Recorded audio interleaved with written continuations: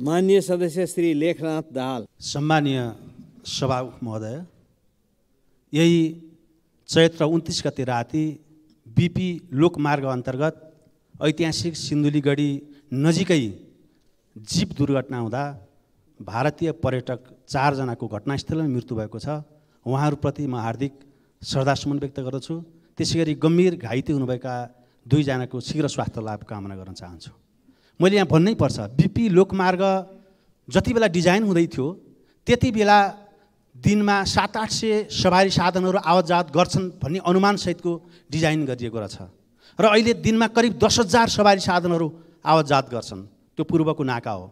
र खुरकोट सिन्धुली बत्तिस किलोमिटर दुरी पर्छ जो असाध्यै प्राविधिक हिसाबले पनि चाहिँ नमिलेको र प्राविधिक डिजाइन घुमाउरो र साँगुरो सडकका कारणले प्रत्येक दिन एक दुई तिन चारवटा दुर्घटना हुन्छन्।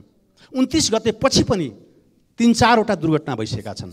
मानवीय क्षतिको त तुलनै गर्न सकिन्न सभामुख महोदय। त्यसै गरी बत्तिस किलोमिटर दुरीमा हामीले सुरु मार्ग खन्डियो भने जम्मा आठ किलोमिटर हुन्छ। तपाईँले हामीले अनुमान गर्न सक्छौँ प्रत्येक दिन दस हजार सवारी साधनहरू गुड्छन् त्यहाँ सयौँ दुर्घटनाहरू भइरहेका छन्। र सवारी साधनको इन्धन खर्च समय र दुर्घटित चाहिँ सवारी साधनहरूको मर्मत त्यसपछि यी सबै जोड्दा अरबौँ बचत पुँजी चाहिँ बचत हुने समय बचत हुने। यस कारणले पनि मैले सम्मानीय सभामुख मार्फत यो बत्तिस किलोमिटर बिपी लोकमार्ग अन्तर्गतको बत्तिस किलोमिटर जो मृत्यु मार्गको रूपमा स्थापित छ अब हामीले त्यसलाई सुरु मार्गमा रूपान्तरण गर्दा जम्मा आठ किलोमिटर पर्छ। र त्यो आठ किलोमिटरले समय इन्धन र सवारी साधनको बचतले अरबौँ बचत हुने हिसाबले गर्दा पुँजी निर्माण गर्ने भनेको उत्पादन गर्ने पनि हो र खर्च कम गर्ने पनि हो। यी दुवै कारणले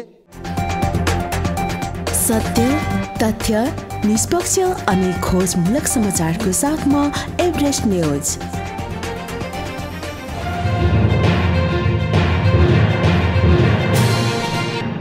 तपाईँ हेर्दै हुनुहुन्छ एभरेस्ट न्युज।